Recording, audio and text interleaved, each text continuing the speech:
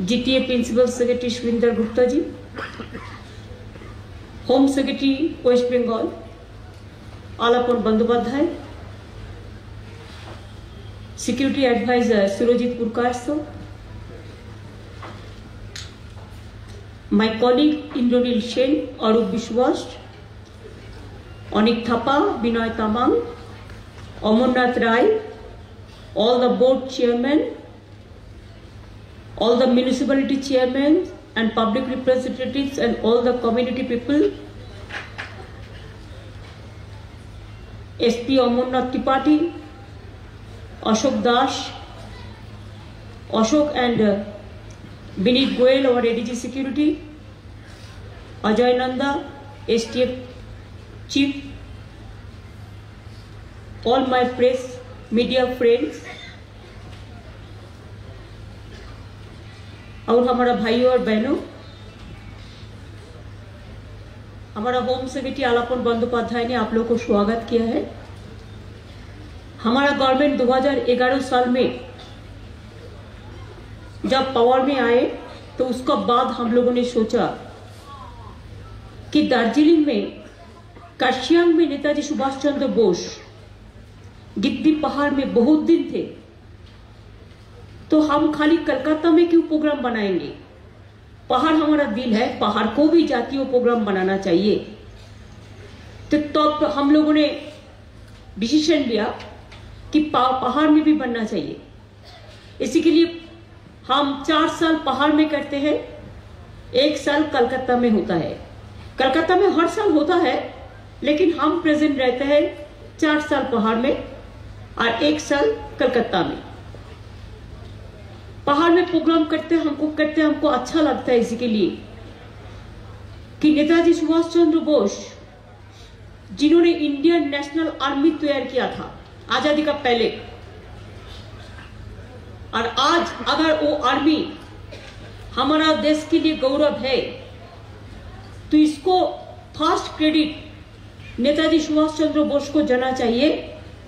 और जैसे हमारा गोरखा लोगों ने बहुत सारे उनका साथ साथ दिया था। और हमारा स्वतंत्र आंदोलन में स्वतंत्र सेनानी का साथ, गोरखा जो आर्मी है, गोरखा रेजिमेंट है, हर तरह ये लोगों ने उसको सपोर्ट दिया था, संघर्ष किया था। देश के लिए उसका प्यार, मोहब्बत आज भी अटूट है। तो इसी के लिए हम क्यों ना दार्जिलिंग में पहाड़ में आके उनकी हम श्रद्धांजलि करें। इसी के लिए हम शुरुआत जो किया है, इसको हम कंटिन्यू भी करते हैं। जनवरी का टाइम ठंडा बहुत ज़्यादा होता है। हवा का चक्कर भी चल रहा है। ठंडा थोड़ा ज़्यादा से ज़्यादा भी है। मैं पहले भी एक टाइम में दार्जिलिंग आए हुए आए हुए थे, लेकिन इतना कोल्ड नहीं था, जो अभी कोल्ड ज़्यादा ही है। लेकिन ये पहाड़ का मोहब्बत है। कभी सानी रहता तो कभी बारिश भी होता। सब मिलके चलता है, ज़िंदगी भी जैसा, ऐसा ही होता है। तो आज नेताजी सुभाष चंद्र बोस को श्रद्धांजलि निवेदन करके हम उसको बात याद करेंगे। दो चार बात, ज़्यादा नहीं, हमारा थोड़ा सांस्कृतिक प्रोग्राम भी होगा। और ये प्रोग्राम चलेगा भी, शाम को भी होगा। लगता है हमारा जो उत्तर बंगो फेस्टिवल का भी प्रोग्राम है ये प्रोग्राम भी चलेगा। हमारा एक छोटा सा प्रोग्राम अभी है, लेकिन बाद में है। तो मैं जो कलाकार है, उनको भी बहुत ही आभारी हूँ कि पहाड़ का कलाकार एक अच्छा से दम होता है। उसको जो रिदिम होता है, और इतना अच्छा संगीत बना लेते हैं ये लोग कि देख के हमारा दिल खुश हो जाते हैं। इतना बढ़िया इतना बढ़िया। मैं आप लोगों को बधाई देना चाहूँगी। साथ साथ में नेताजी सुभाष चंद्र बोस का माफिक लीडर। देश में और होगा कि नहीं होगा, ये तो पता नहीं है। शायद नहीं होगा। लेकिन उन्होंने जो बात कहा है देश के लिए, वो बात हम लोगों को बातों बातों पे याद रखना ज़रूरी है। नेताजी सुभाष चंद्र बोस देश का एक नेता थे, जिसका पास सेकुलरिज्म का नारा था। उन्होंने एक आदमी का बात नहीं कहा। उन्होंने चाहे हिंदू हो, चाहे मुस्लिम हो, चाहे सिख हो, चाहे ईसाई हो, चाहे बुद्धिस्ट हो, चाहे नेपाली हो, चाहे गोरखा हो, चाहे पारसी हो, चाहे जैनी हो, सबका बात कहा। हमें तो एक बात याद है कि 1940 में बंगाल में झारग्राम में उन्होंने एक भाषण दिया था। 12 मई कर 12 में उसमें उन्होंने सच्चा सच्चा कहा, तब बीजेपी का एक ऑर्गेनाइजेशन था हिंदू महासभा। ये सब अभी से जो चल रहा है, धर्म का नाम पे। उन्होंने ये बात तब कहा था कि ये लोगों को वोट में असली दखलदारी देने के लिए ये लड़ाई है। हम इसको सपोर्ट नहीं करते, हम इसको कंडेम करते। हम आज का दिन इसको याद करते इसी के लिए कि हिंदू धर्म खाली अकेला एक आदमी के लिए नहीं है। हिंदू धर्म यूनिवर्सल धर्म है। जिसको बात स्वामी विवेकानंद एक दफे नहीं बार बार बताया। लेकिन अभी जो चल रहा है पूरा देश में हर धर्म को निकाल दे के हिंदुओं का नाम पे हिंदू धर्म का बदनाम जो कर रहा है, हम लोग भी हिंदू है। तो क्या है? हम हिंदू है, इसी के लिए हम नेपालियों को पसंद नहीं करेगा? क्या हम हिंदू है तो हम नेपालिया का पर्व हम नहीं मानेंगे? क्या हम गरखा का पर्व नहीं मानेंगे? क्या हम मुस्लिम का पर्व नहीं मानेंगे? क्या हम ईसाई का पर्व नहीं मानेंगे? क्या हम सिखों का बलिदान नहीं मानेंगे? ऐसा थोड़ा ही देश का नेता बनता है। देश का नेता कैसा होता है?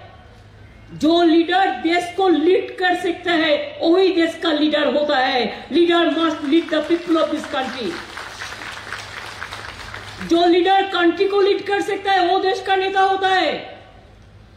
जो लीडर हर प्यार, हर भावना, हर धर्म, हर वर्ण हर जाति का साथ एक साथ में कांध पे कांध मिलाकर चलते हैं? वो देश का नेता होता है। देश का नेता कौन है?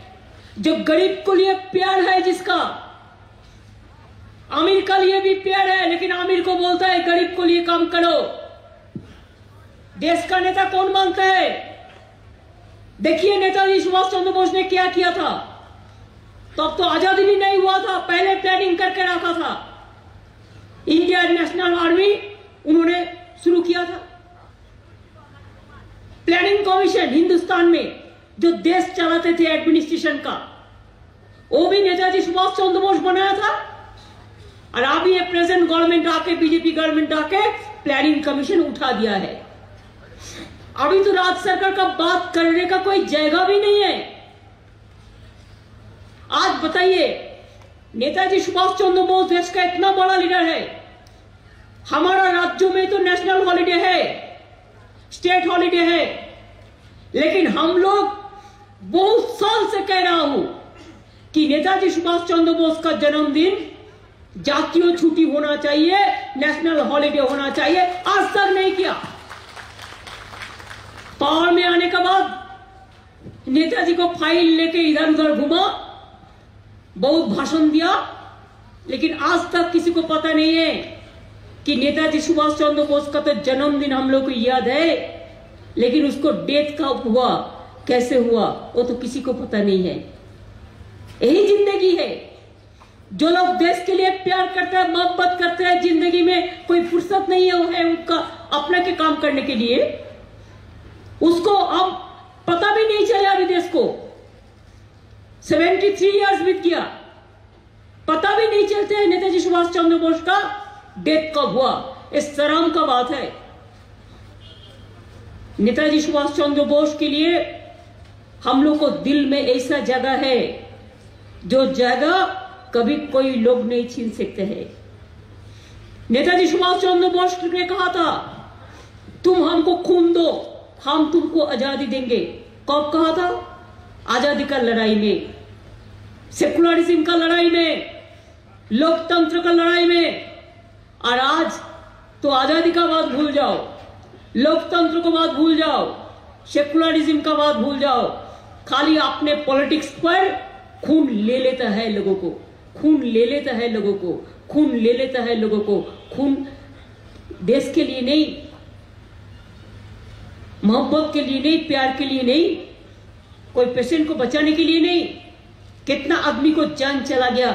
इवन आपको पता है रिसेंटली जो मूवमेंट देश में नारा डाला है। क्या हो? ओ एनआरसी हो, एनपीआर हो, जिसमें आम जनता को हक रहेगा कि नहीं रहेगा? एक क्वेश्चन आज आ गया। इसी के लिए आज नेताजी का जन्म दिवस पे हम लोगों ने वादा करने चाहती हूँ। नेताजी सुभाष चंद्र बोस ने जो रास्ता हम लोग को दिखाया वो रास्ता में हम लोग चलेंगे। गांधी जी ने जो रास्ता दिखाया वो रास्ता में हम लोग चलेंगे। भानु भक्त जी ने जो रास्ता दिखाया, वो रास्ता में हम चलेंगे। भगत सिंह ने जो रास्ता दिखाया अबुल कलाम आज़ाद ने दिखाया, चाहे अंबेडकर दिखाया, चाहे बिरसा मुंडा दिखाया, चाहे पंचानन वर्मा दिखाया, चाहे रविंद्रनाथ ठाकुर दिखाया, चाहे नजरुल इस्लाम दिखाया। एक पथ में हम चलेंगे। इसमें जितना भी झड़ आए, आने दो। तूफ़ान आए, आने दो। लेकिन वो तूफ़ान को जय करने का हिम्मत भी हम लोग का है। इसी के लिए कि ये मिट्टी हमारा सबसे प्यारा है। सारे जहाँ से अच्छा हिंदुस्तान हमारा। किसका गाना है? कभी पूछा कोई? गाना तो इकबाल ने गाया था। गाना तो गाना ही होता है ना? तो लोता जी ने तो भी गाया था।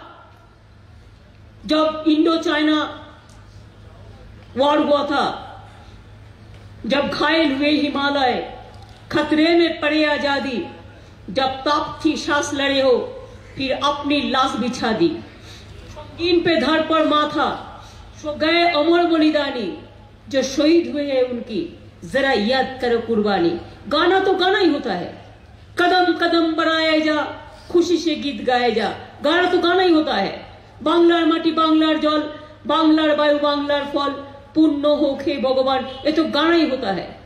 पहाड़ का गाना भी हमको बहुत पसंद है। पहाड़, भालचो, पहाड़, भाल गान चाहचे पहाड़ भी उन्नति चाहे पहाड़ भी हर आदमी के साथ मिलके एक कट्ठा एक साथ में रहने चाहचे तो हम क्यों इसको बंटवारा करेंगे? हम इसको बंटवारा नहीं करेंगे। तो आज का दिन हमारा यही वादा है। हम जब तक ज़िंदा रहेगा, हम जय हिंद नारा देंगे। हम जब तक ज़िंदा रहेगा, हम जय भारत नारा देंगे। हम जब तक ज़िंदा रहेगा, हम जय बांग्ला कहेगा। और दार्जिलिंग में आप जय गोरखा भी आप कहेंगे। ज़रूरत है, कोई बात नहीं है। हम हमारा घरों को हम प्राउडली हम कह सकते हैं। इसमें नाराज़ का बात क्या है? झगड़ा करने का बात क्या है? कुछ नहीं है। इसी के लिए मैं आज ज़्यादा भाषण देने नहीं चाहती हूँ। मैं ऑलवेज चाहती हूँ कि हमारा दार्जिलिंग अच्छा रहे। हमारा दार्जिलिंग सारा विश्व में एक सिरा दार्जिलिंग हो। हमारा कालिम्पोंग अच्छा रहे। हमारा मिरिक अच्छा रहे। हमारा कर्शियंग अच्छा रहे। दार्जिलिंग का भाई बहन बहुत टैलेंटेड है।